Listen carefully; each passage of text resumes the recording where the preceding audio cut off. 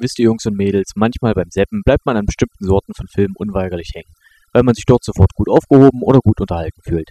In meinem Fall sind das trashige Horrorfilme. Du bist der Nächste. Octalus. Abenteuer auf hoher See und oldschoolige Spaghetti-Western. Dann gibt es wieder Genre, wo ich gar nicht schnell genug wegseppen kann. Reality-Mumpel.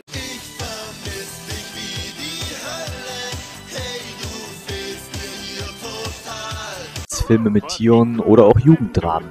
Nun das letzte jedoch bis auf eine Ausnahme.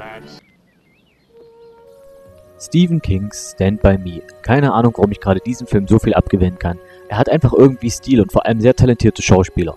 Aber alles der Reihe nach. Ich finde es schon sehr stimmungsvoll, wie der Film beginnt. Wir hören die Melodie des Oldies Stand By Me im Hintergrund. Dazu eine einsame Landschaft und hier der erste Satz im Film. Ich war zwölf, fast 13, als ich zum ersten Mal einen toten Menschen sah. Das Ganze spielt in den späten 50ern der USA, präziser gesagt in einer der abgelegenen Kleinstädte. Das Flair dieser Zeit wird auch sehr gut rübergebracht, alleine was die Frisuren und die Musik angeht. So laufen immer mal im Hintergrund berühmte Oldies während der ganzen Handlung.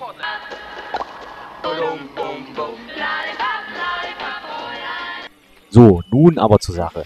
Im Nachbarort von Castle Rock wird ein Junge im Alter von etwa zwölf Jahren vermisst.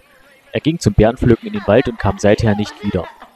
Die Bande um den Schüler Gordy, der im Film auch als Erzähler fungiert, erfährt durch einen Zufall, wo in etwa die Leiche des Jungen liegt.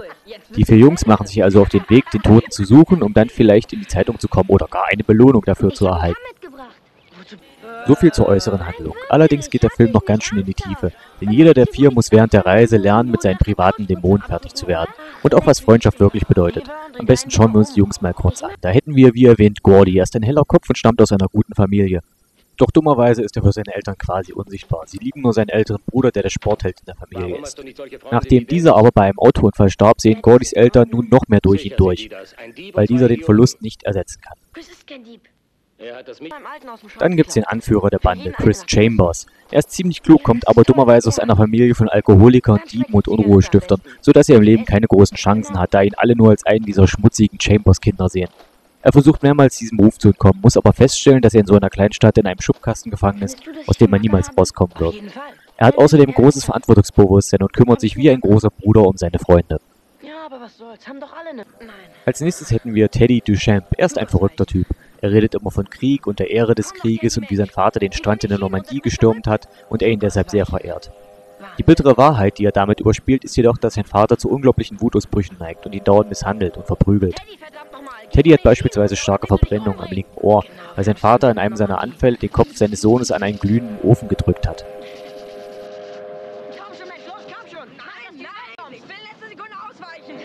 Der letzte im Bund ist Worm, die feige Memme des Quartetts. Irgendwie scheint jede Bande so einen zu haben. In erster Linie nervt er die anderen und ist prinzipiell gegen alles, was gefährlich sein könnte.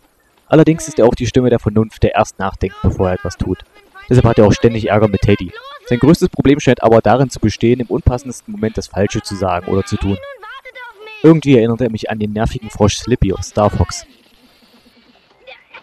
Bei den Vorbereitungen zu der Reise findet Chris eine Pistole bei seinem Vater, die er prompt mitnimmt. Man weiß ja nie, was da so kommt. Diese wird aber zum Schluss noch eine dramatische Rolle spielen. Unterwegs passieren nun allerlei Zwischenfälle, die Überquerung der Eisenbahnbrücke, der Schrottplatzbesuch, die Begegnung mit den Blutegeln und eine absolute Lieblingsstelle von mir, als sie im Wald übernachten und jeder muss einmal Wache schieben und Würm läuft zur Hochform auf.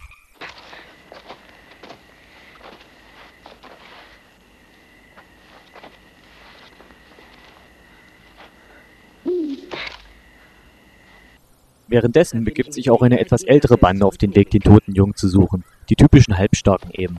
Angeführt von King, gespielt von dem damals noch reichlich unbekannten Kieser Sutherland. Wie soll man King am besten beschreiben? Stellt euch einfach Biff aus Zurück in die Zukunft noch zehnmal arschlochmäßiger vor. Da kommt man in etwa hin. Man kann diesen Kerl einfach nur hassen. Viel mehr möchte ich zur Handlung eigentlich nicht verraten, weil das hier ein Film ist, von dem ich wirklich möchte, dass ihr euch da draußen ihn auch anschaut. Sehr intelligent und vor allem emotional. Mal lustig, mal traurig, mal nachdenklich, mal spannend, aber vor allem ehrlich gespielt. Noch ein paar abschließende Worte. Hat deine Mutter nie ein normales Kind gekriegt? Wie meinst du das? Oh je. Danke.